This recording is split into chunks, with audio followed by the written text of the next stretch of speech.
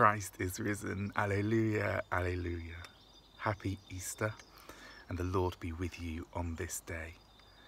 I'm going now to walk over to St Mary's Church, where I will replace the crown of thorns with a garland of flowers prepared for us by Josie.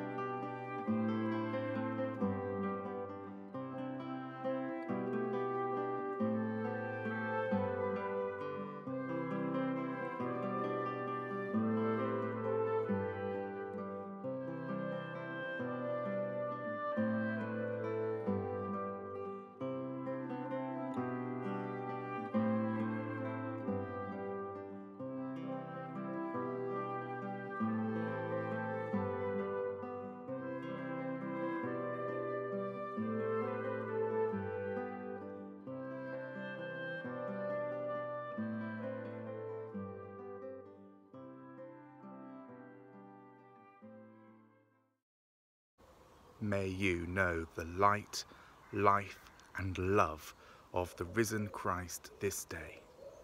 And may God bring you peace, comfort, and joy this Easter day and every day. Bless you. Amen.